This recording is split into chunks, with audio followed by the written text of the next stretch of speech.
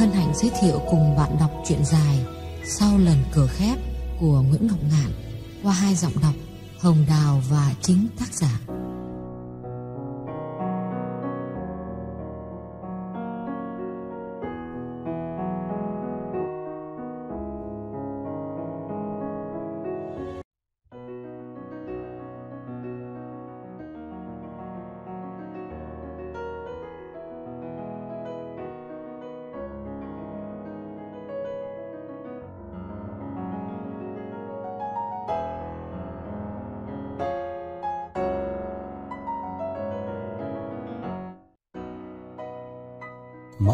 Mắt nhìn đại phân bua, Đại thoáng nhìn sâu vào trong, Thấy nét mặt tái xanh Và đôi mắt ướt đẫm của Ngọc. Anh hiểu ngay thằng bạn mình đang bị xử tội. Anh nói nhỏ với mẫu, Hay hay là lát nữa tao trở lại. Mẫu đang rất cần có người thứ ba Để giải phóng cho chàng Khỏi giây phút gây cấn này, Cho nên chàng kéo tay Đại, Vào đây, Bác bác Tường, mời mời bác vào luôn. Đại nhún vai nhìn mẫu thông cảm, Rồi kéo ông Tường bước vào. Mẫu mở tủ lấy hồ sơ trong khi Đại lên tiếng, Tao vừa đi làm về, Bà xã tao cho biết bác Tường đau cả đêm không ngủ được. Tiện xe tao đưa bác lại đây gặp mày. Mẫu nhìn bệnh nhân, Thấy rõ những nét mệt mỏi Trên khuôn mặt khóc khắc của ông. Từ lúc vào, ông chưa nói lời nào, Kể cả câu chào hỏi xã giao thông thường. Nhưng ông vốn là khách quen, Và mẫu thấy hiểu rõ hoàn cảnh của ông, Nên không ngạc nhiên chút nào. Phải nói rằng gia đình ông là biểu tượng Một trường hợp tan nát điển hình tại hải ngoại. Ngày xưa, ông là thanh tra thuế vụ, Cái nghề mà muốn nghèo cũng khó. Ông rong chơi qua nhiều cuộc tình. Mãi 40 tuổi mới lập gia đình Với người con gái thua ông gần 20 tuổi. Có vợ trẻ đẹp bên cạnh, Dĩ nhiên ông rất hãnh diện. Bạn bè và đồng nghiệp cũng khen ông tốt số. Nhưng chuyện đời may rủi luôn luôn dính liền. Đàn ông từ khoảng 30 đến 45 Thường dừng lại ít thay đổi. Người vợ trẻ đứng bên cạnh không lộ sự cách biệt bao nhiêu.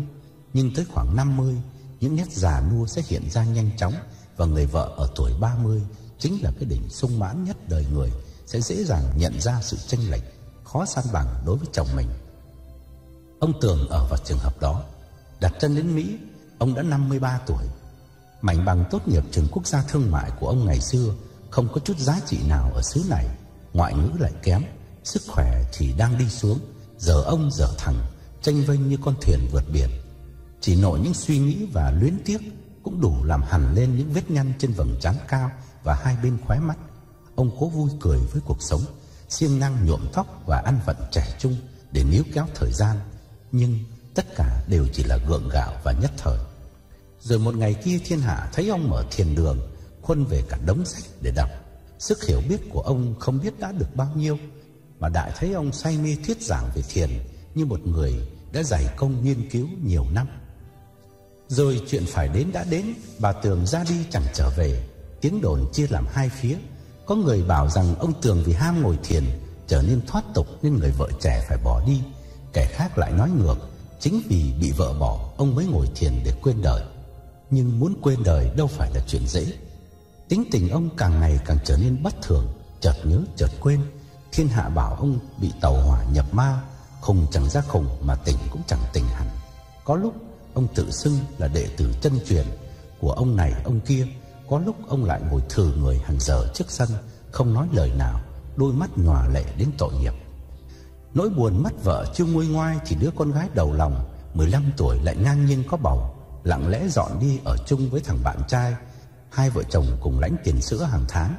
Rõ ràng ông Tường chưa quên được cuộc đời Bởi vì tóc ông bạc trắng Và rụng nhiều đến độ thảm hại những người trong cùng Winding lúc đầu tội nghiệp ông, Lâu dần thành quen, Chẳng ai chú ý đến nữa. Ngược lại chính ông Ông cũng chẳng quan tâm đến ai. Ông giết ít khi ra khỏi nhà, Vợ chồng Đại lâu lâu mời ăn. Muốn ông nhận lời, Nhiều khi phải mang thức ăn sang tận phòng cho ông. Lúc này ông ốm đau quạt quẹo mãi, Nhưng lười đi bác sĩ. Có thắc mắc hoặc cần thuốc gì, Ông chỉ việc sang gõ cửa hỏi Đại. Và mỗi lần như thế, Chính Đại lại đẩy ông lên xe trở ra gặp mẫu. Mẫu quăng cho đại tờ báo rồi quay sang nói với ông Tường. Mời bác vào trong này. Mẫu đưa bệnh nhân vô phòng khám. Ngọc đang ngồi sụt sùi ở góc phòng, vội đứng dậy bước ra. Nàng gật đầu chào đại rồi mếu máu khóc tiếp. Đại cười gượng. Có chuyện gì mà chị khóc sớm thế Ngọc lôi một tờ giấy lau hỉ mũi thật mạnh rồi bảo Đại Tôi thì tôi đâu có ngờ anh ấy già rồi mà còn đổ đốn ra như vậy.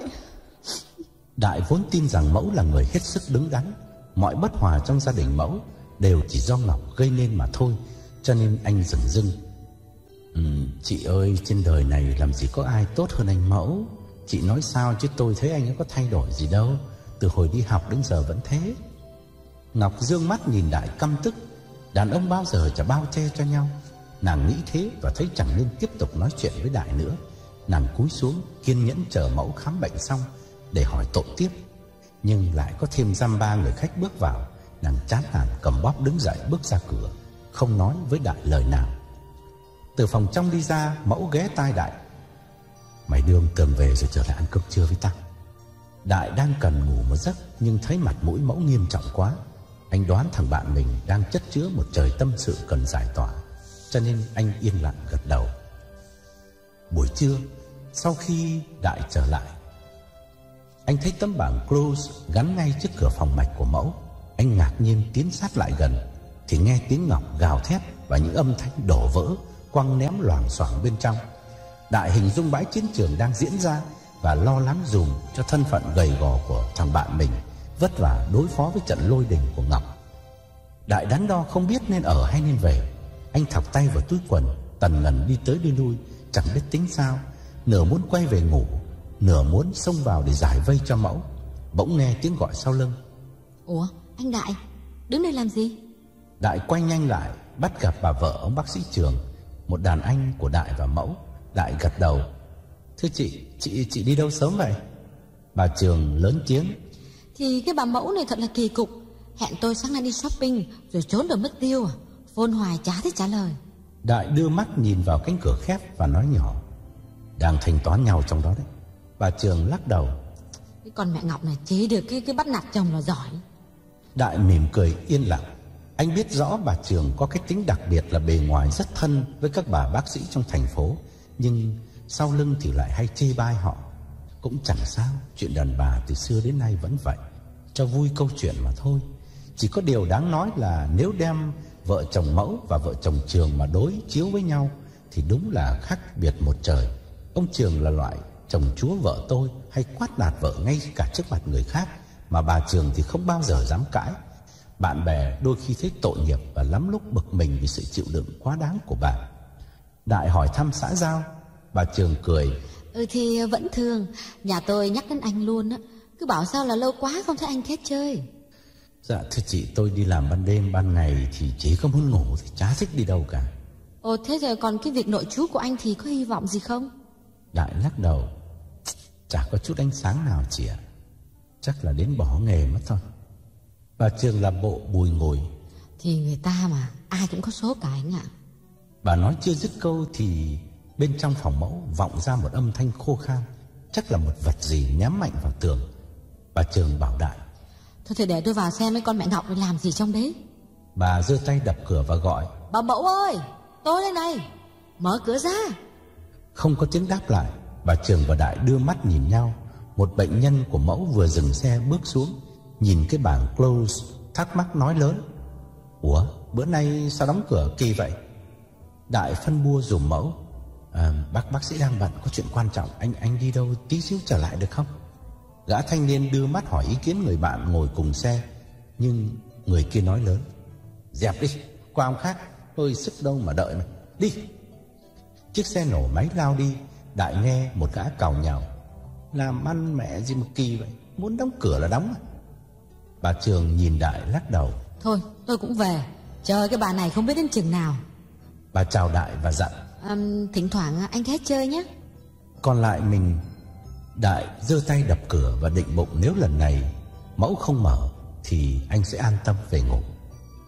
Nhưng Đại chưa kịp gõ Thì cánh cửa xịch mở Và mẫu lao ra Nắm cái tay Đại lôi đi. Tiếng Ngọc léo nhéo vọng theo. Trời ơi tôi sẽ thưa cảnh sát bắt con đi đấy. Nghe chưa? Mẫu bước nhanh như chạy trốn Mồ hôi vã ra trên trán Và hơi thở dồn dập như vừa tập thể dục. Đại léo đẽo đi bên cạnh Lên tiếng cằn nhằn. Bà vợ mày làm cái gì mà um sùm quá Mất mặt hội y sĩ. Anh đưa mắt nhìn mẫu từ trên xuống dưới Xem thằng bạn mình có bị đánh đập sứt mẻ chỗ nào chăng. Hai người băng qua đường Chui vào xe của mẫu Mở máy phóng vội đi Như sợ Ngọc rượt theo. Mẫu lấy lại bình tĩnh và bảo Đại Kiếm chỗ nào vắng rồi tao kể cho mày nghe cái chuyện này. Đại gạt đi Chuyện của mày thì chán ngấy Quanh đi còn lại vẫn cái chuyện vợ chồng phang nhau như cơm bữa. Mẫu lắc đầu Không, hôm nay khác Chuyện nghiêm trọng lắm rồi. Đại ngạc nhiên hỏi Nghiêm trọng thì phải tìm cách giải quyết chứ Mày để như vậy sao? Mẫu buồn rầu hỏi lại Tao hỏi mày chứ giải quyết cách nào bây giờ? Đại nhấn mạnh thì chẳng hạn đóng cửa phòng mày chui vào làm bệnh viện Tuần 4 ngày, 5 ngày Một năm 70 ngàn Ngày 8 tiếng như công chức không sướng hơn à? Đại nói chân chu vì đó là niềm mơ ước của anh. Anh thấy mở văn phòng tuy tiền khá hơn Nhưng vất vả và phiền toái quá. Nay mai nếu trời thương cho anh hành nghề trở lại Anh sẽ ôm một chân trong nhà thương cho nhàn thân. Nhiều lần mẫu cũng đã nghĩ đến điều đó Nhưng anh thấy rất khó quay lại con đường này. Thà rằng ngay từ khi ra trường, Anh cứ ở lì tại bệnh viện Thì không sao. Bây giờ đã làm business Hơn 3 năm, lợi tức cao gấp đôi nhà thương. Chi tiêu của anh và Ngọc đã quen tay, Thuế lợi tức hàng năm du di thêm bớt tương đối dễ dàng. Bây giờ bước giật lùi chắc chắn sẽ thấy chặt vật. Nếu bây giờ, chàng lại ly dị Ngọc để lấy Cúc, Thì gánh nặng trên vai còn chồng chất hơn nữa. Chẳng những mẫu sẽ mở phòng mạch quanh năm, Mà đêm đêm có thể còn phải đi sách túi. Houseco từng nhà nữa. Xe dừng lại trước một tiệm ăn Pháp, Mẫu tắt máy, Đại ngồi yên và nói, Mày vẫn khoái món ăn Tây. Mẫu mở cửa xe và đáp, Tao đưa mày đến đây vì tao biết cái tiệm này ế khách. Xuống mày. Quả nhiên, đúng như mẫu nói, Quán vắng tanh, Mẫu đi thẳng vào góc phòng, Kéo ghế ngồi thở mạnh rồi bắt đầu kể lể. Mày còn nhớ có lần tao À bà xã tao nói cho mày biết về cái con nhỏ Cúc không? Đại chấu mắt nhìn mẫu gật đầu. Con nhỏ nó có thật hay là một nhân vật tưởng tượng? Mẫu nghiêm nghị đáp, Có thật. Đã im lặng rồi chợt phá ra cười. Vậy là sao? Mày phá giới à? Mày phá giới thì tao có lời khen. Mặt mẫu vẫn nghiêm Và buồn khiến Đại thấy mình cười không đúng lúc. Đại hỏi mẫu, Đầu đuôi ra sao? Bữa trước mày bảo tao là có cái đứa nào Tên là Cúc với Thư chọc vợ mày, có đúng không? Mẫu gật đầu. Tao gặp nó rồi. Con bé nó xinh lắm. Mới hơn 20, 23, 24 gì đấy. Nó là chị con Hằng trước làm thư ký cho tao Bị bà xã tao đuổi. Rồi mẫu tỉ tê kể hết cho Đại nghe Hai lần gặp gỡ giữa mẫu và Cúc. Những bâng khuâng thao thức của chàng Đối với người con gái dễ thương đó Đại lắng nghe rồi kết luận. Nghĩa là mày thực sự mê nó. Mẫu ứa đáp Mê thì cũng không hẳn là mê Nhưng mà nói thật mày là tao quá xúc động. Và chàng phân trần ngay. Tao đã cố gắng quên nó, Quay về với Ngọc. Nhưng bà xã tao thì mày biết rồi. Bà ấy không biết điều, Cứ xô đẩy tao. Đại lắc đầu thở dài. Mày mà cũng phản bội vợ Thì tao nói thật là thế gian này Chả có thằng đàn ông nào đáng tin cậy nữa.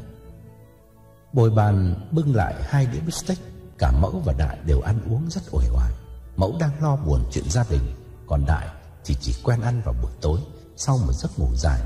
Đại nói Hèn gì lúc nãy tao nghe bà xã mày bảo rằng bà ấy sẽ thưa cảnh sát bắt cái con nào đi. Mẫu cười chua chát. bà ấy có biết cái gì đâu, nếu thưa là phải thưa tao chứ. Bà ấy cứ nghĩ rằng cái con bé đó nó quyến rũ tao. Tao già bạc đầu thế này rồi ai quyến rũ nổi. Đại nhíu mày nói, nhưng tại sao mày lại hứa anh để cho bà xã mày biết là mày đến gặp con Cúc? Mẫu khổ sở phân trần, thôi đời vẫn vậy, ăn vụng thì hay bị lộ.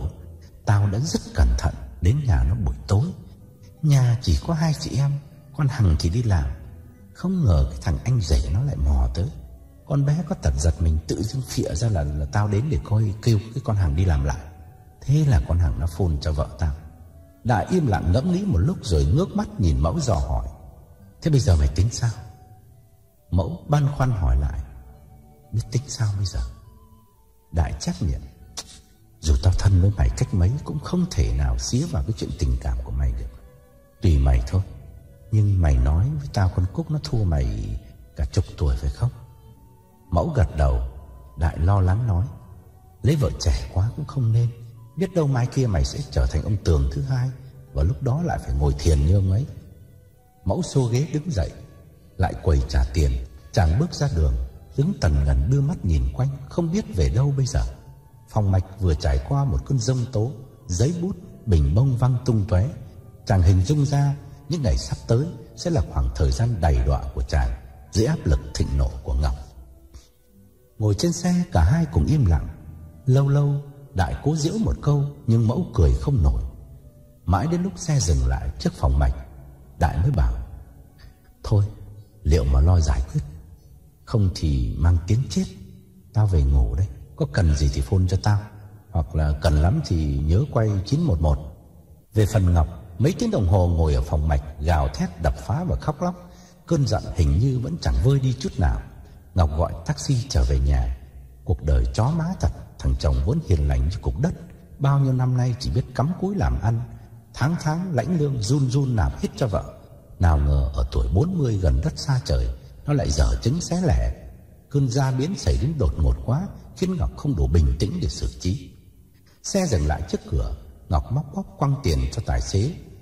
Và không chờ tiền thối lại, Đã lâu lắm, hôm nay Ngọc mới rộng lượng tặng tiền tiếp. Nàng bước lên thềm, Bàn tay lập cập mở mãi mới được cái khóa cửa. Căn nhà quen thuộc, Bữa nay thấy hoang vắng lạ thường. Ngọc vứt bóp ở salon, Vào phòng tắm rửa mặt. Đôi mắt ướt nhòe Và lớp phấn son loang lổ Như những hạt mưa bụi, Rơi trên mảnh sân, bụi bặm. Ngọc hình dung ra khuôn mặt Hằng, Con bé xấu xí và vô duyên Mà đã có lúc làm Ngọc đảo điên ghen tức. Tay đang cầm cái lược, Ngọc quăng vào bồn rửa mặt, Chạy lên nhà điện thoại cho Hằng. Ngọc hơi hối hận sáng nay khi nói chuyện với Hằng Đã không khôn khéo dò la về Cúc. Bây giờ Ngọc cần lấy lại lòng Hằng để bù đắp câu chuyện buổi sáng. Ngọc ngồi xuống sofa, Tay run run mở cuốn sổ nhỏ Tìm lại số phone của Hằng. Ngọc sẽ làm bộ mời Hằng trở lại làm việc với mình. Rồi nhân tiện Tìm hiểu xem mẫu đã lai vãng đến nhà Hằng từ bao giờ Và bao nhiêu lần Quay số phone xong Ngọc hồi hộp đợi Nàng ngước mắt nhìn lên tường và sực nhớ đã đến giờ phải đi đón con. Nhưng đầu dây bên kia, người trả lời lại là Cúc. Cúc vừa đi làm về, gión, dén thay quần áo vì thấy Hằng đang ngủ. Tiếng reo thứ nhất vừa dứt, Cúc đã chọc vội ống nghe lên vì không muốn em thức giấc. Hello? Ngọc cố lấy giọng bình tĩnh hỏi. Um, cô Hằng đấy phải không? Cúc đưa mắt nhìn Hằng rồi nói nhỏ. Ồ dạ không, tôi là Cúc hả? Em tôi đang ngủ Bà có cần gì nhắn lại không Thì lát em tôi sẽ gọi lại Nghe đến tên Cúc Ngọc tái mặt tay run lẩy bẩy Tim đập mạnh như sắp nghẹt thở Nàng ngưng một lát rồi nói uhm, Cô là Cúc Tôi cần nói chuyện với cô Dù chưa biết người đối thoại với mình là ai Cúc vẫn ôn tồn Ồ thế thì ờ, xin ờ, bà chờ tôi phòng ngoài Để em tôi ngủ đã. Nàng nhẹ nhàng đặt ống nói xuống Ra phòng khách nhấc điện thoại đặt sang bên cạnh Rồi lại trở vào phòng ngủ gác chiếc phone ở trong đó lên. Nàng khép cửa phòng rồi trở lại ngồi trên sofa và nói xin lỗi bà là ai ạ? Ngọc gay gắt. Tôi là vợ bác sĩ mẫu đây. Tôi nói cho cô biết cô nên liệu hồn cô định cướp chồng tôi. Tôi tôi xé xác cô ra đấy. Cúc giật mình im lặng rồi trong giây lát cơn giận bừng bừng dâng lên. Nàng không giận ngọc mà nàng tức mẫu. Thằng đàn ông hèn nhát kia Sau lần chia tay với nàng Chắc đã trở về quỳ từ cửa quỳ vào Và thú nhận hết mọi tội lỗi với vợ. Cúc thở mạnh rồi bảo Ngọc. Thưa bà Xin bà bình tĩnh lại.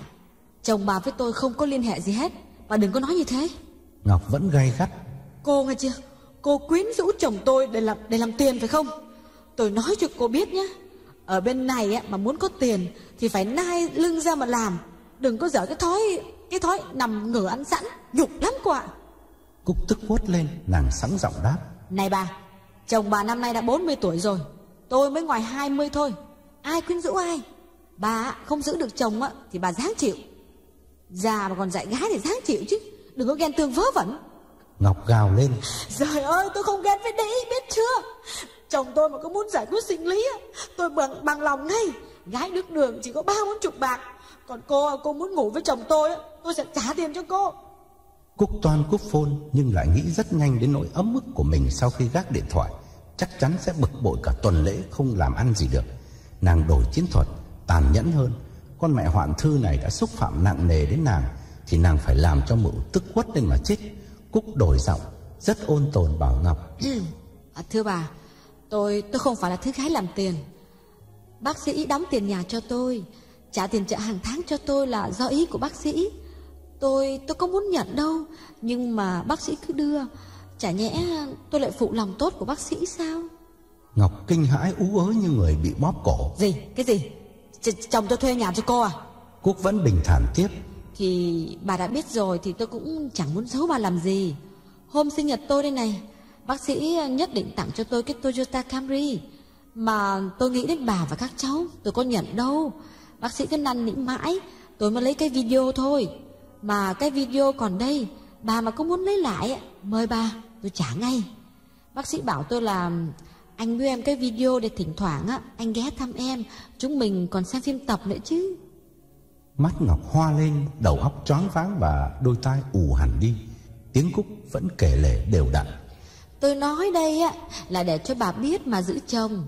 Anh mẫu ờ, định rủ tôi bỏ thành phố này mà đi chỗ khác đấy. Bí mật sống chung với tôi đấy. Ngọc không thể nghe được nữa. Nàng buông rơi cái phôn trên thảm Nằm vật ra khò khè thở. Phải băm thằng chồng ngu dại này ra làm trăm mảnh May ra mới hạ được cơn giận Tiếng nói của Cúc vẫn léo nhéo phát ra từ ống nghe. Ngọc chộp lấy, Quăng mạnh vào tường. Nhưng sợi dây vướng vào cổ Ngọc đau điếng. Ngọc càng uất, lật úp người. Vừa khóc, vừa đấm tay thùng thụp xuống sofa. Một lúc sau, Ngọc choàng dậy. Chạy lao ra cửa. Phải đến ngay ngân hàng rút hết tiền ra Trước khi thằng chồng mất dạy này Đem tài sản dâng cho con đĩ cúc. Hai cuốn sổ băng, Checking và saving Đều là chương mục chung của mẫu và Ngọc. Đồng tiền liền cút ruột. Dù tang gia có bối rối đến đâu, Cũng không thể để quên chuyện tiền bạc được. Nhưng ra đến cửa, Ngọc sực nhớ, Nhà băng giờ này đã nghỉ việc. Nàng lại quay vào và khóc tiếp. Thằng Phê và thằng Phán Vừa về tới, uất ức kêu lên. Bữa nay sao mẹ không đón tụi con? Rồi chúng nhìn khuôn mặt thảm não của Ngọc Chợt im lặng, lấm lét vào phòng.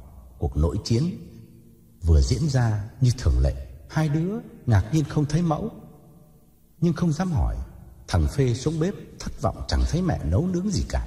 Nó mở tủ lạnh, lôi bánh mì ra gặm. Ngọc thì ngồi ủ rũ một lúc, Trí óc xoay chiều dần Vì nhận ra mình đã quá ngây thơ Để con bé Cúc gạt gẫm. Tiền ở đâu mà mẫu thuê nhà Và mua quà tặng cho Cúc? Từ ngày mở phòng mạch tới giờ, Mẫu có được phép cầm tiền bao giờ đâu. Ngọc đã ra nghiêm lệnh là mẫu chỉ được tiêu dưới hai chục đồng. Bất cứ món gì trên số tiền đó Đều phải có phép của Ngọc. Check lương gửi tới, Đích thân Ngọc bỏ vào ngân hàng. Chứng từ cuối tháng nhà băng gửi về, Ngọc xem xét rất chi ly Không để một kẽ hở nào cho mẫu qua mặt. Như thế thì tiền ở đâu Mà mẫu cho Cúc? Bác sĩ tổng quát như mẫu hành nghề tại Canada, Không bao giờ bệnh nhân trả tiền mặt, Thì lấy gì mà thủ riêng cho mình? Nghĩ được điều đó, Ngọc thấy nhẹ hẳn người, Hân hoan vào phòng tắm rửa mặt. Nàng nhìn mình trong gương Và chủ quan thấy mình còn đẹp lắm. Dăm ba vết nhăn rất nhỏ, Hai bên khóe mắt, Chỉ một chút phấn, Một lớp kem đủ che lấp hết.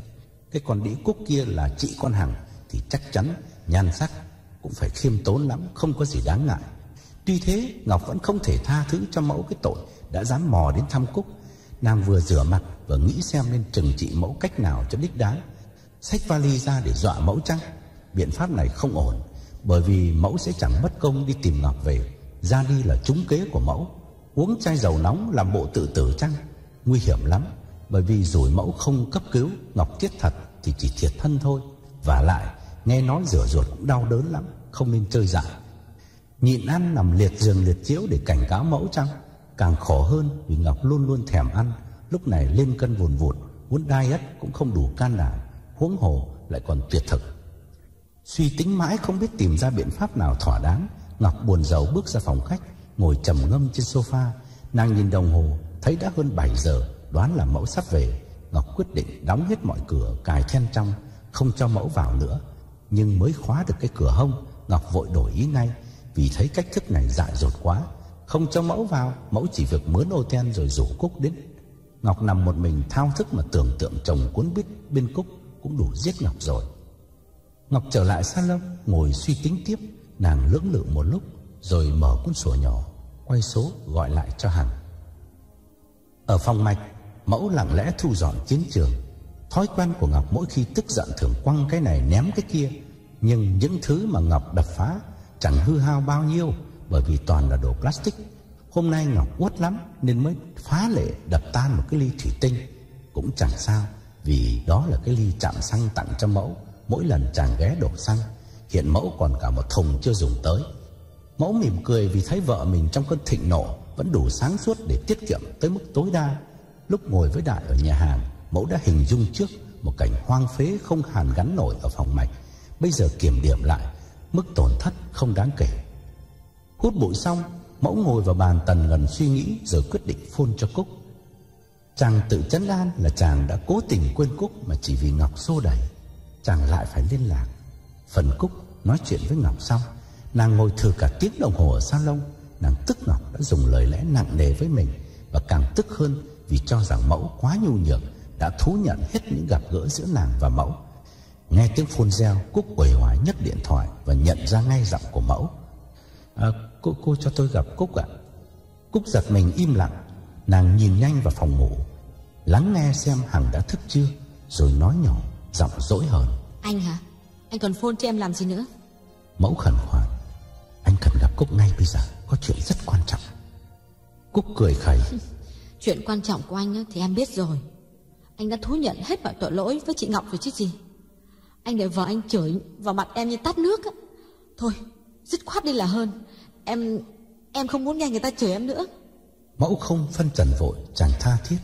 Anh đến em bây giờ được không? Không được, em không muốn gặp mặt anh nữa. Mẫu nóng này, tại sao em lại kể cho con hàng nghe là anh đến nhà em? Đến lượt Cúc ngạc nhiên. Ơ, anh nói gì kỳ vậy? Em kể hồi nào? Mẫu giải thích thì chính nó phone cho vợ anh nói rằng là anh đến bảo nó làm việc lại mà để anh ghé em, anh nói chuyện với em. Không không có được đâu, hàng nó đang ở nhà, em lại phòng mạch của anh nhé. Cũng không được. Thôi thôi bây giờ thế này này, mình ra quán gặp nhau đi. Mẫu vắn tắt cho Cúc một điểm hẹn rồi khép cửa phòng mạch ra đi. Nửa tiếng sau hai người gặp nhau ở một quán ăn. Nhưng gặp giờ này thì lại đông khách quá. Mẫu bước vào rồi lại phải lôi tay Cúc ra đi. Chàng lái xe lòng vòng rồi tìm một chỗ khuất ngồi lại trong xe nói chuyện. Chàng hỏi Cúc. Ngọc phun cho em à? Cúc thở dài và kể. Em nghĩ lại rồi, hôm anh đến thăm em á, tình cờ anh Chiết bắt gặp. Em có tật giận mình nên mới phịa ra rằng anh đến gọi Hằng đi làm. Anh Chiết về nhà kể với Hằng và Hằng lại điện thoại cho vợ anh. Câu chuyện đổ bể là vì thế đó. Mẫu bùi ngồi gật đầu. Anh cũng đoán vậy. Thế Ngọc nó nói gì với em? Cúc buồn rầu đáp. Thì ờ, dĩ nhiên là chị ấy chửi em là gái làm tiền. Thế anh có tiền thì em bám anh. Điều đó cũng chả quan trọng gì. Quan trọng là lúc đó em tưởng chính anh đã thú nhận với vợ anh về chuyện chúng mình Nên em tức và chọc chị Ngọc nhiều điều hơi ác Mẫu nhìn Cúc sò xét Em nói gì với Ngọc Thì em bảo là anh thuê nhà cho em nè Trả tiền chợ cho em nè Mua video cho em nữa. Mẫu cười chua chát. Thế thì đời anh tàn rồi em ơi. Mẫu quàng tay qua vai Cúc Nhích sát lại người Cúc và hỏi. Còn Hằng sao hôm nay nó lại ở nhà Không đi bán cà phê nữa à? Cúc chép miệng đáp. Thì nó vừa cắt mắt sửa mũi Phải nghỉ vài hôm. Vậy là anh với em lại không gặp nhau ở nhà em được nữa nhỉ? Gặp làm cái gì Chuyện của anh với em bây giờ Anh giải quyết ra sao? Mẫu trầm ngâm đáp. Chưa nói đến việc um, em bảo Ngọc là anh cho em tiền. Chỉ cần biết là anh có đến nhà em thôi Là, là đã đủ để Ngọc nó giết anh rồi. Phen này chắc là anh khó sống. Cúc im lặng một lúc rồi nói. À, Lỗi ở em cả. Mẫu cảm động xoay người đặt bàn tay lên vai Cúc Và nghiêm trọng hỏi.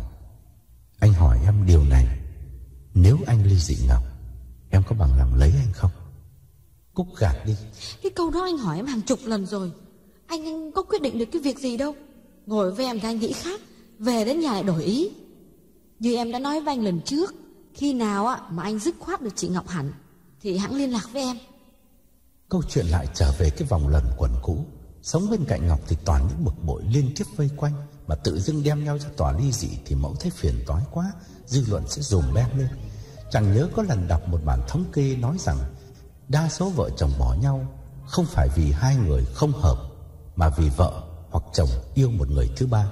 Chính vì thế sau khi ly dị Người ta không còn coi nhau như bạn cũ Mà trái lại Phần lớn chỉ nhìn nhau như kẻ thù.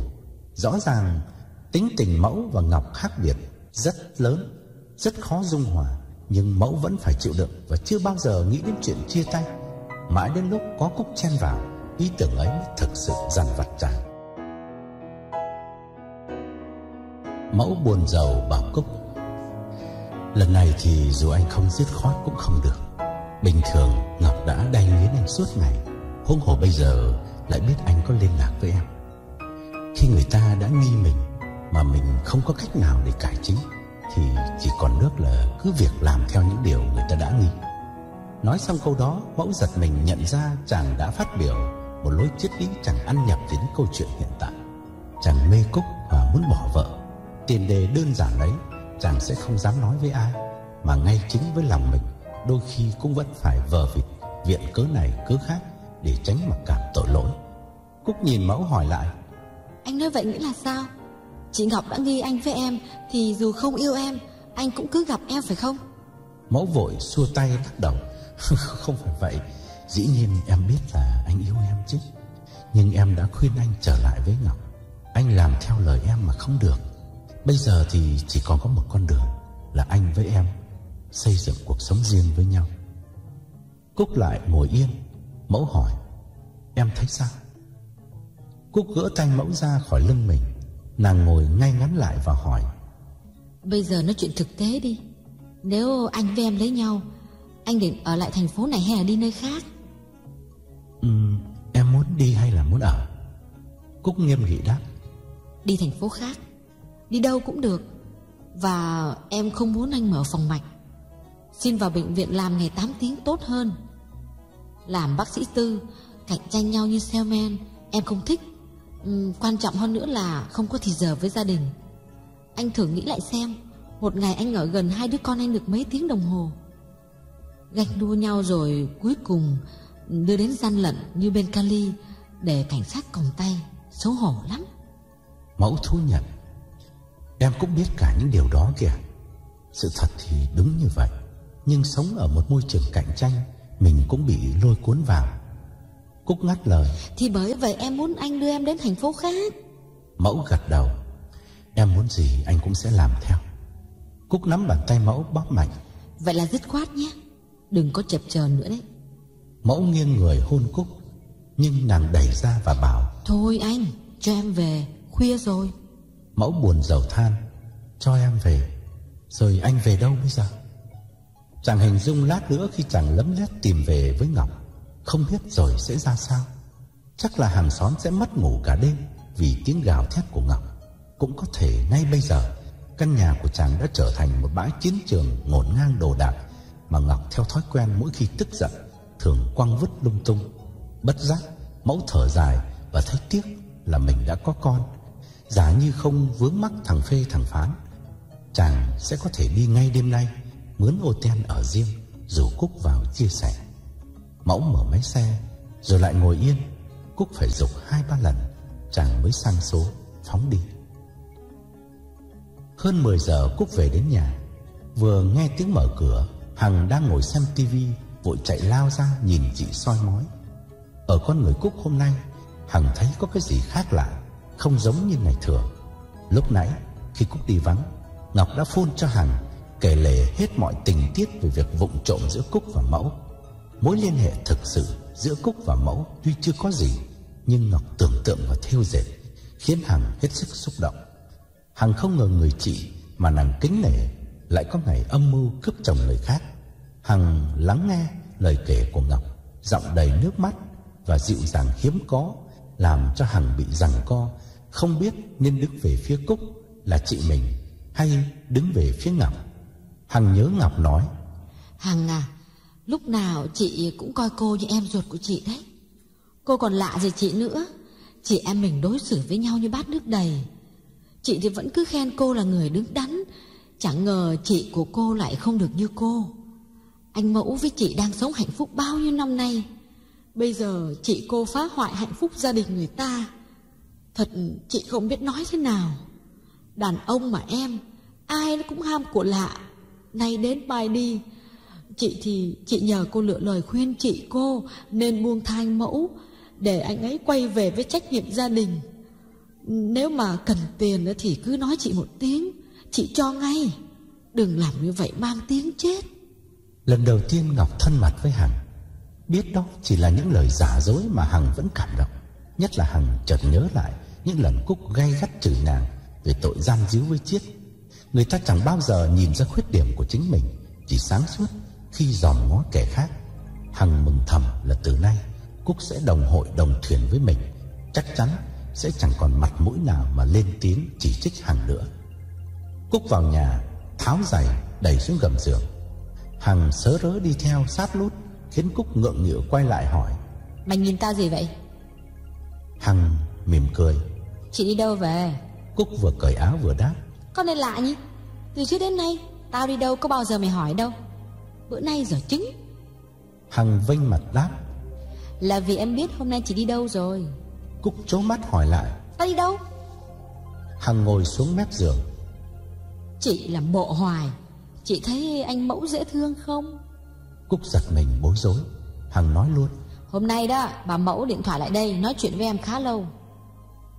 Cúc biết mọi chuyện đã bại lộ Chẳng cần phải giấu giếm nữa. Nàng lại giường vẫy tay bảo Hằng nằm xích vào Rồi nàng ngả lưng nằm bên cạnh và tỉ tê. Tại mày hết. Hằng ngồi bật dậy hỏi lại. Tại em. Cúc nói. Chứ còn gì nữa Hồi đó suốt ngày mày cứ lái nhải với anh mẫu với bà Ngọc. Tao bực mình vì cái tật ghen tuông bóng gió của bà Ngọc. Nên mới viết thư cho ông mẫu Để chọc tức bà ấy.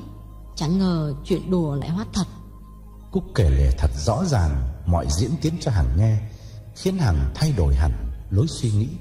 Hằng thích tội nghiệp cả Cúc lẫn mẫu Và cùng lúc ấy Nhận ra những dịu dàng của Ngọc lúc nãy Chỉ là một màn kịch rất vụng về.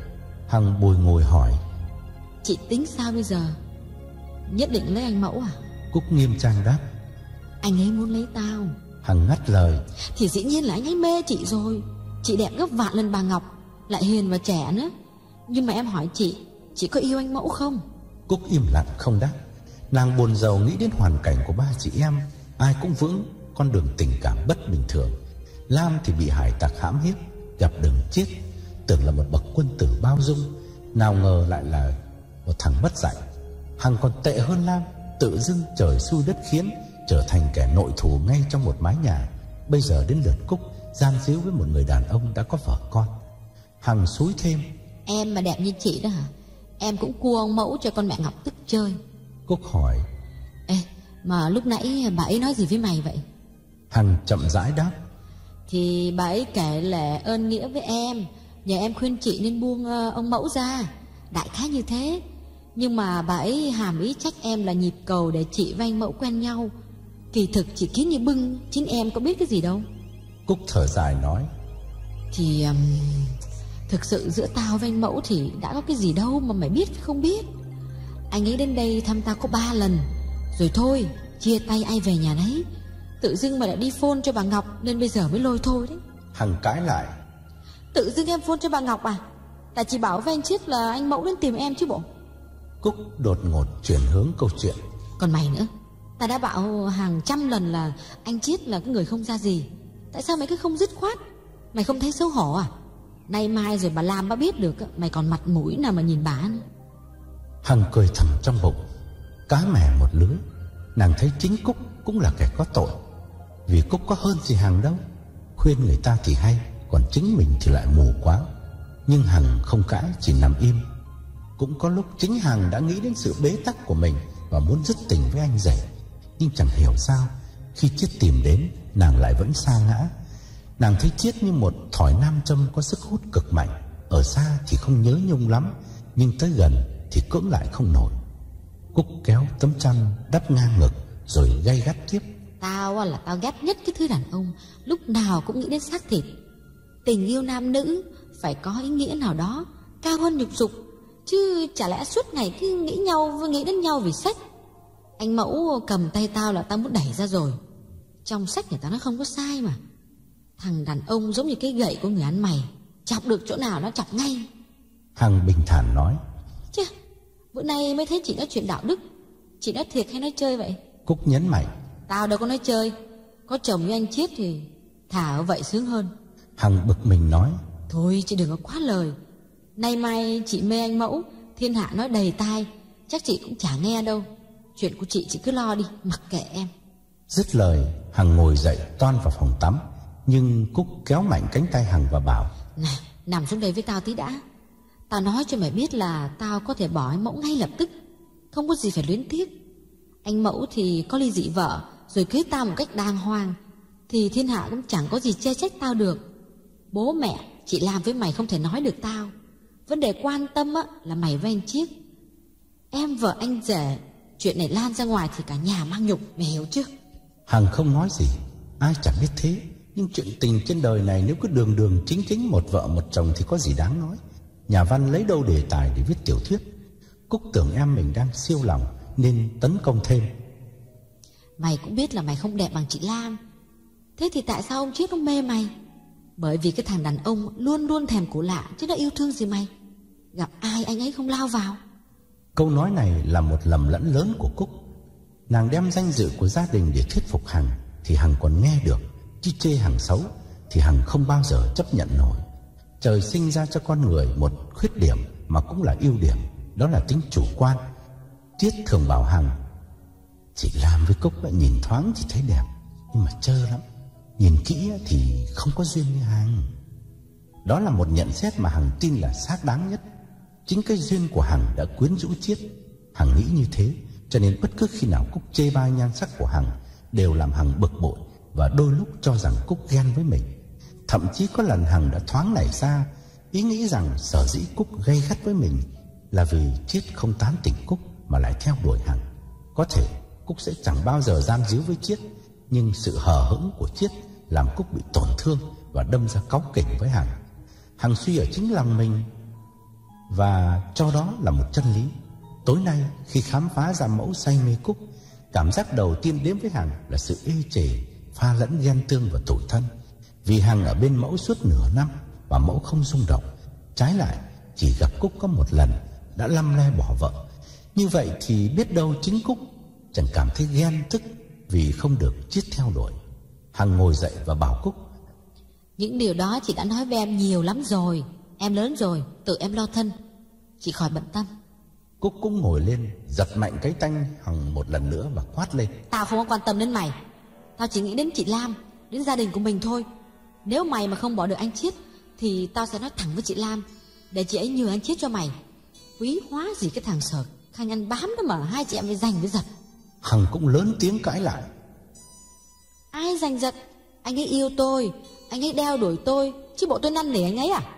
Cúc không chịu đựng nổi cái chữ tôi hỗn xược Hằng vừa phun ra. Nàng giơ thẳng tay toan tát mạnh vào mặt Hằng. Hằng đưa cả hai bàn tay lên đỡ Nhưng Cúc kịp thời tự chế Vì sực nhớ ra Hằng mới sửa mũi. Cúc bước xuống về phòng mình Miệng lẩm bẩm. Đồ mất nết. Hằng hầm hầm nói theo. Ừ chưa biết ai mất nết à để rồi xem là chị có hơn tôi hay không. Cá mè một lứa mà cũng phải đặt. Cúc khép mạnh cánh cửa lao lên giường nằm khóc. Tự dưng nàng thấy hối hận. Không phải hối hận vì đã khuyên em, Mà vì nóng nảy quá, toan tát Hằng. Giá không kịp thời hãm lại, Thì cái mũi của Hằng đã vẹo sang một bên, Phải đi gặp bác sĩ thẩm mỹ một lần nữa. Cúc ngồi dậy vào phòng tắm lau mặt Rồi rón rén trở lại với Hằng. Biết Cúc vào, Hằng quay mặt đi. Cúc ngồi xuống bên cạnh. Ngần ngừ một lúc rồi lên tiếng. Chị em mình á vô phúc lắm á, mới có một cái thằng anh rể như vậy. Hằng quát lên. Thôi, thôi, chị im đi. Tôi không có muốn nghe nữa. Nói hoài sốt rồi rồi. Cúc kiên nhẫn kể. Tao nói cho mày nghe Cái ngày mà anh ấy tán tỉnh tao á Tao đã chán ngấy. Tao tính nói là chị Lam biết rồi Nhưng mà nghĩ là thương hại chị Lam gặp nạn trên biển Tao im lặng. Tao đâu có ngờ Anh ấy theo tao không được Lại xuống tới mày Hằng giật mình lật ngửa người ngước mắt nhìn Cúc. Cái gì? Anh chết mà cũng theo chị à? Thôi đi chị đừng có sạc Giọng Cúc uất ức một cách tàn nhẫn. Mày mà ông ấy còn dê thì ông ấy tha gì tao? Hằng ngồi hẳn lên dựa lưng vào tường Đầu hơi cúi Mắt đăm đăm nhìn xuống Đôi môi mím lại. Cúc tiếp tục kể. Hồi mà tao mới qua Đi học Anh Văn Ngày nào cũng mò đến lớp. Tao đã thấy ngay cái bộ mặt bỉ ổi của ông ấy rồi Rồi những lúc chị Lam đi làm nè Mày đi học Ông ấy gạ gẫm tao Sở soạn lung tung. Tính tao thì mày biết rồi đó Tao chửi thẳng Chả nể nang gì cả. Nhưng mà ông ấy hình như là biết rằng tao thương chị Lam Không có nỡ tố cáo Cho nên ông ấy cứ giỏi Giỏi cái trò đó hoài. Hằng liếc mắt nhìn Cúc dò xét Sự thực như vậy hay là Cúc vừa chợt phịa ra câu chuyện này để gạt Hằng? Hằng hỏi bâng quơ. Anh ấy tệ vậy sao Cúc không trả lời thẳng câu hỏi ngờ vực của em. Nàng tiếp tục kể. Hồi đó đó mày ngạc nhiên hỏi tao là tại sao ông Chiết đang dạy tao tập lái xe. Mới có ba ngày tao nhất định không học nữa. Tao nhờ người khác. Là vì nó có lý do. Là vì có lo dạy lái đâu. Chỉ lo tán tao, Rồi vợ Việt ôm vai tao, Rồi đặt tay lên đùi tao lung tung. Lúc nào cũng bảo, Ba chị em, Chỉ có Cúc là đẹp nhất. Chê chị la là nhà quê Chê mày là vô duyên. Ông ấy tưởng là cứ chê mày với chị Lam Thì tao sung sướng lắm. Tao, à, tao thù những thằng đàn ông như vậy Hằng càng nghe càng thấy sao xuyến. Có lẽ Cúc không đặt chuyện Bởi vì cuộc tình vụng trộm giữa Hằng và Chiết Cũng bắt đầu từ khi Chiết dạy Hằng học lái xe. Những lời nói Những hành động mà Cúc vừa mô tả về Chiết Hoàn toàn đúng như những điều đã xảy ra với Hằng. Ngồi bên Hằng Chiết cũng chê chị Lam nhà quê và Cúc thì có khen đẹp, Nhưng lại bảo là vô duyên. Những buổi tập lái xe thú vị đó Đã đẩy Hằng vào cánh tay của Chiết. Hai người thường đem nhau đến chỗ vắng, Đậu xe dưới một tàn cây rất khuất, Rồi ra băng sau ngồi ôm ấp nhau. Chính trong chiếc xe nhỏ ấy, Lần đầu tiên, Hằng đã trao thân cho anh rể. Bây giờ nhớ lại, Hằng bỗng thấy gai người khó chịu. Cúc biết em đã bắt đầu có cái nhìn khác về Chiết, Nàng kể thêm. Mày có nhớ cái đêm mới đây này anh chị ấy sang ăn cơm rồi coi phim tập ở nhà mình không? Hằng gật đầu Cúc nhấn mạnh. Đêm hôm đó đó Cả nhà ngủ ngoài phòng khách. Nhưng mà mày còn nhớ không đã? Đó cái đêm đó đó Ông ấy chờ chị Lam với mày ngủ say. Thò tay sang ngực tao Tao nắm được tao bấu cho một cái Chạy cả móng tay. Sáng hôm sau à Năn nỉ tao Thiếu điều muốn quỳ lại tao luôn Để tao đừng có nói với chị Lam. Nữa. Hằng càng nghe càng choáng váng Tình cảm dành cho Chiết 10 phần đã giảm đến 9 Cúc chưa chịu buông tha. Gặp tao một mình á Lúc nào cũng khen tao đẹp nhất nhà. Chê mày xấu như Trung Vui Diệm. Tao tởm cái miệng lưỡi đó lắm. Gặp tao mà chê mày á Thì gặp mày cũng có thể chê tao. Mày nhớ như thế đi. Hằng càng buốt nhói hơn Vì có cảm tưởng như Cúc đã nhìn thấu tim gan mình. Hằng thấy xấu hổ Đã bao lần hí hửng Nghe những lời tán dương của Chiết Và chủ quan tin rằng mình có duyên thật Phút chốc, Nàng thích thương Lam vô hạn, Vì Lam còn ngây ngô hơn cả Hằng Lúc nào cũng ca ngợi Chiết Bài học này đắt giá quá, Khó có thể tha thứ được. Hằng muốn khóc, Nhưng sự căm phẫn hình như vừa bừng lên mãnh liệt quá, Ngăn hẳn dòng nước mắt. Bên tai Hằng, Cúc vẫn thản nhiên nói cho hết ý. Tao dục chị Lam mướn nhà riêng. Mày đã nhìn tao cười thách thức, Nhưng mày lầm. Không phải tao muốn chia cách mày với ông Chiết đâu. Tao chỉ muốn tống cổ ông ấy đi khỏi để, để đừng có nhìn cái mặt nham nhở đó thôi. Hằng vùng đứng lên và nghẹn ngào nói. Thôi chị đừng có nói nữa. Đấy nhiều đủ rồi. Cúc chưa bỏ cuộc vội. Nàng vẫn sợ Hằng mù quáng Cho rằng mình đặt điều nói xấu Chiết Khi yêu mấy ai đã sáng suốt Cho nên đã lỡ nói một lần Thì phải nói cho cạn, cho dứt. Cúc tỉ mỉ kể lại một lần nữa Tất cả mọi chi tiết Những lời tán tỉnh của Chiết Nói với Cúc tương tự như Chiết vẫn thường nói với Hằng. Rồi Cúc đứng dậy, Chạy lại tủ áo, Lôi cái hộp cũ ra, Lấy trong đó một cái bọc nhỏ, Quăng lên giường trước mặt Hằng Và nói, Đây này, Mua dây chuyền vàng tặng tao. Tiền đâu ra? Tiền của chị làm chứ, ông ấy có chịu làm ăn gì đâu mà có tiền. Lấy tiền của vợ để mua quà cho em vợ, Không biết mắc cỡ. Mày mở ra coi đi, Mở đi. Hằng nhìn cái hộp sực nhớ đến những món quà nhỏ mà Chiết thường mua cho mình Và lại càng thấy tội nghiệp Lam hơn. Hằng hỏi Chứ sao chị không chịu trả lại? Cúc gằn từng tiếng Tao đã trả lại bao nhiêu thứ rồi Nhưng tao muốn giữ một món để làm bằng chứng khi cần. Bởi vì tao biết sớm muộn gì cũng có ngày phải nói hết sự thật này với mày với chị Lan Hằng ngượng quá như kẻ bị bắt quả ta đang ăn vụng. Hằng lúng túng bảo Cúc Thôi um, khuya rồi Chị đi ngủ đi Mai còn để sớm.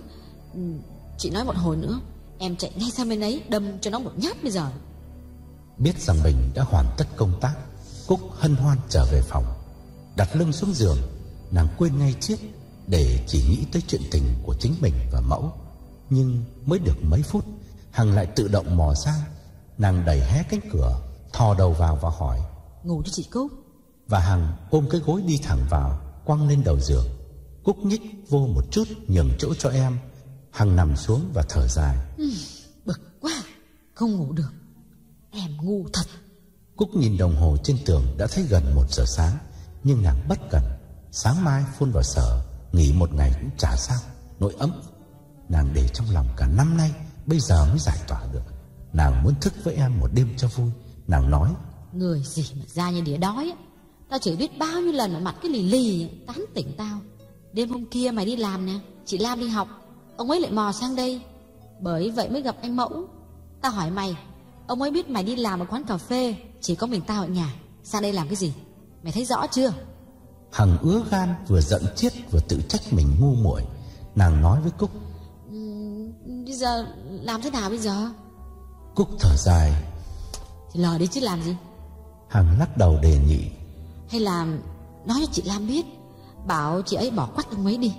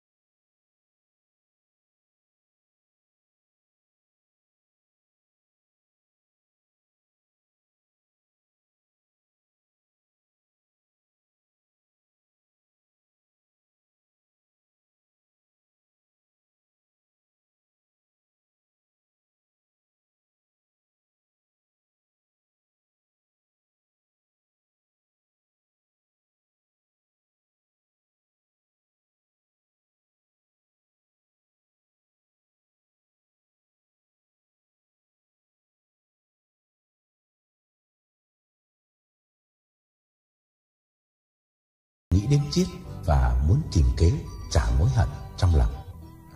Sáng hôm sau, Hằng tròn thức dậy trong sự vắng lặng của căn nhà buổi sáng.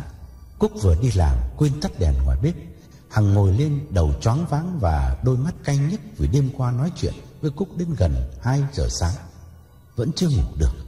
Nàng vói tay lên tường bật đèn Và theo thói quen bước xuống tiến lại trước tấm gương lớn dựng trên tủ phấn. Khuôn mặt đã bắt đầu thấy quen quen. Những vết cắt ở hai bên mắt đã lành hẳn Nhưng vì chưa trang điểm Nên hình như trông lại xấu hơn cả lúc chưa đi bác sĩ thẩm mỹ. Hằng vào phòng tắm Vừa đánh răng vừa nghĩ đến chiếc Cơn giận bừng bừng đêm hôm qua Bây giờ đang lắng xuống Nhưng chắc chắn không bao giờ tan biến nổi trong đầu Hằng. Nàng thấy xấu hổ với Lam, với Cúc Và với cả chính mình. Rồi đây, những tháng ngày sắp tới Không biết Hằng sẽ phải đối xử với Chiết như thế nào. Chửi Chiết thì cũng chính là chửi mình, Bởi vì chẳng có sự quyến rũ nào Có thể thành tựu Khi kẻ bị quyến rũ không đáp lại.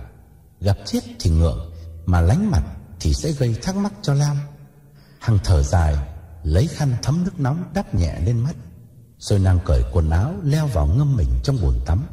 Hằng nhắm mắt lại và dùng mình Nhớ đến những trò chơi tội lỗi Vẫn diễn ra ở đây với Chiết Hằng cố xua đuổi ý nghĩ đen tối ấy, Đứng vùng dậy Dùng vòi hoa sen cho nước xối đẫm mái tóc Đồng thời hát nho nhỏ Một bài tình ca cho quên đi Một lúc sau Hằng bước ra và bắt đầu sấy tóc Bỗng có tiếng điện thoại reo Hằng biết đó là lời mời gọi của Chiết như thường lệ mỗi buổi sáng sau khi Lam và Cúc đi khỏi.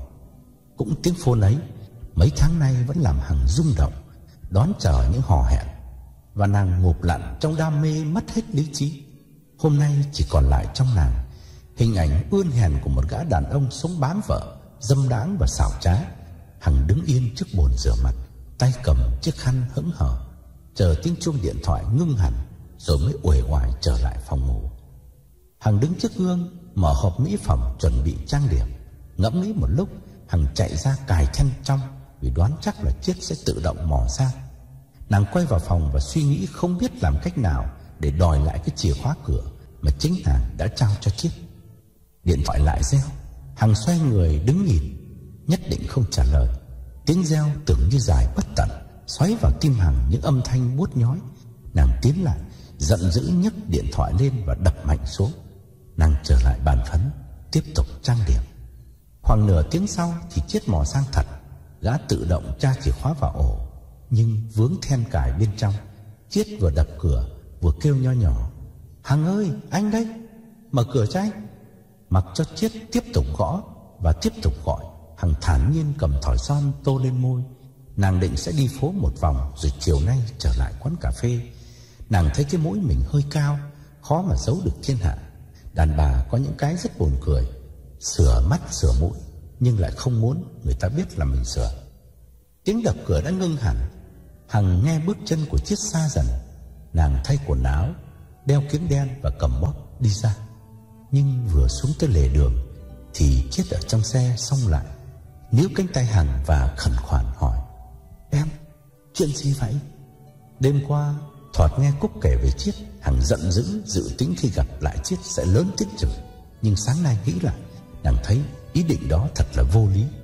Cả hai kẻ cùng có tội Chẳng ai quyến rũ ai. Cách hay nhất là im lặng Và xa lánh Chiết Hằng giằng mạnh cánh tay ra khỏi tay Chiết Lạnh lùng bước đi. Chiết léo đẽo theo bên cạnh. Tại sao lại giận anh? Anh có làm gì đâu? Hằng nhất định không nói. Và vì Hằng không nói Chiết càng băn khoăn hỏi dồn. Anh có làm gì đâu cả Sao tự dưng lại giận là thế nào? Hằng vẫn bước đi mắt nhìn thẳng Gần từng tiếng bảo Chiết Anh đi về đi. Đừng có để tôi lớn tiếng ngoài đường. Đi đi. Chiết đứng lại đau đớn nhìn theo. Gã chớp mắt mấy cái rồi thở dài quay lại xe. Gã ngồi bất động trước vô lăng Tự vấn xem mình đã làm gì mất lòng Hằng Chiết ngẩng lên, không thấy Hằng đâu nữa. Nàng đã lẫn hẳn vào đám đông trước cửa một shopping center. Chiết mới nổ máy xe và phóng đi. Gã biết ngày hôm nay sẽ là một ngày rất dài. Một thằng đàn ông lười biếng như gã, Lúc nào cũng dư thì giờ Cả nửa năm nay buổi sáng khi Lam vào sở Chiết mò qua với Hằng Nằm đến gần trưa mới đến tiệm pizza, Lấy hàng đi giao khoảng 2 tiếng đồng hồ. Rồi buổi chiều lang thang tụ tập Xăm ba thằng bạn thất nghiệp Uống bia hoặc đánh bài, Bàn chuyện thiên hạ. Tối về ăn cơm, Đưa Lam đến trường, Rồi lại ra quán cà phê Hoàng gia để gặp Hằng ở đó. Cuộc sống vô định, mất hướng. Lam yêu chồng, Không hề nhận ra Chiết chỉ là kẻ thừa thãi trong xã hội. Hằng thì lại càng u mê hơn, Chỉ có Cúc lúc nào cũng khinh bỉ Chiết ra mặt. Đối với Cúc, Cuộc đời phải có mục tiêu, Dù lớn, dù nhỏ, Hoặc đi học, hoặc đi làm. Những gã đàn ông lang thang vô dụng như Chiết Dưới mắt Cúc chỉ là những cặn bã không hơn không kém. Mới đây tiệm pizza lại cho chết nghỉ luôn. Cúc càng coi thường chết. Không phải coi thường vì chết thất nghiệp Mà Cúc khinh bỉ. Vì rõ ràng chết không hề có ý định đi tìm việc làm. Cũng chẳng hề muốn ghi danh đi học bất cứ ngành gì. Nhiều gã thanh niên trong thành phố nhìn chết mà cảm thấy tủi thân cho mình. Vào thời này chưa có phong trào du lịch Việt Nam, con gái ở hải ngoại còn khá hiếm, thế mà chết có vợ đẹp, lại chăm ngoan, quanh năm cắm đầu đi làm để nuôi chết. Buổi trưa Hằng đến tìm Lam và Cúc đúng vào giờ nghỉ. Vừa thấy Hằng, Lam ngạc nhiên reo lên. Ủa, sao bữa nay mày lại mò lên tận đây? Hằng vui vẻ đáp. Thì đến rủ hai chị đi ăn chưa? Cúc nói. Chứ không phải là mày khoe cái dung nhan mùa hạ của mày chắc Cúc đăm đăm nhìn Hằng và gật đầu khen Công nhận Công nhận lông bác sĩ cắt khéo thật Đẹp gấp đôi ngày trước Hằng cười Vậy hồi đó em xấu lắm hả Lam cũng cười theo Mày tưởng mày đẹp à Ba người vào một tiệm ăn tàu bình dân Tiếng nói chuyện ồn ào Son chảo bát đĩa khua vang Giống hệt khung cảnh một nhà hàng bình dân Trong chợ lớn ngày trước Lam gọi ba tô mì rồi bảo Hằng Ừ, ta cũng định uh, gặp mày đây. Hôm qua anh chiết bàn với tao là chị em mình nên hùn với nhau sang lại tiệm tạp hóa đầu đường nhà tao. Tiệm ở dưới, mình trên lầu. Nhà có ba chị em, mướn hai chỗ tốn tiền quá.